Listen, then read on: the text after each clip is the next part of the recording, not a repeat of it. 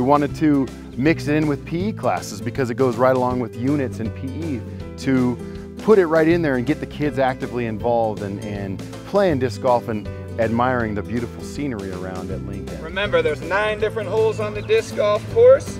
Okay, each hole you get your own separate score. So we went out on this beautiful day and we got to play frisbee golf with all of our friends. It's just really gorgeous and we have so much land and there's not many cars or buildings anywhere and it's just so beautiful. Here. This was basically made for us just to uh, have a little outside time and have a little bit of quiet time with friends and today we're basically just uh, having a little bit of fun and shooting into the hoops. This is third period of a normal day.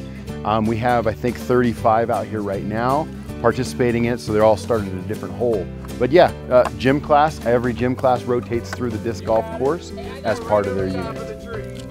I just think it's really cool to have something new and for everyone who didn't do any sports before, like basketball or soccer or softball, they can try this, see if they like it they're actually getting better and better every day. They're challenging me to, to, to, come out and play with them. Like, well, let me practice first.